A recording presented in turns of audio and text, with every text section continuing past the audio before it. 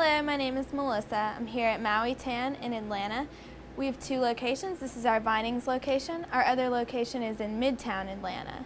Here we offer UVB free beds, Mystic spray tans, all sorts of products, and a great knowledge about tanning. And now I will be discussing how a tanning bed works. Each tanning bed is put together differently. Some tanning beds have higher outputs of UVB ray, causing it to be a stimulant bed. Other beds have higher outputs of UVA ray, making it more of a browning bed.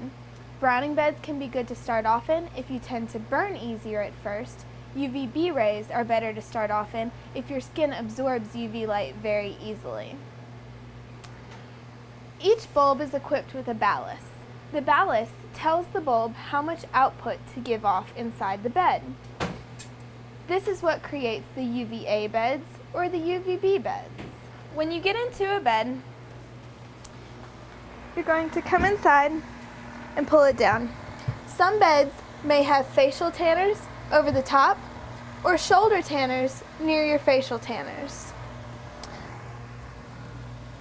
Lie in the appropriate spot underneath your facial tanners in order to protect your face from the more stimulant bulbs.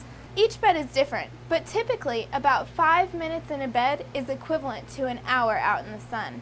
Use this to help you judge about how much time you should stay in a bed.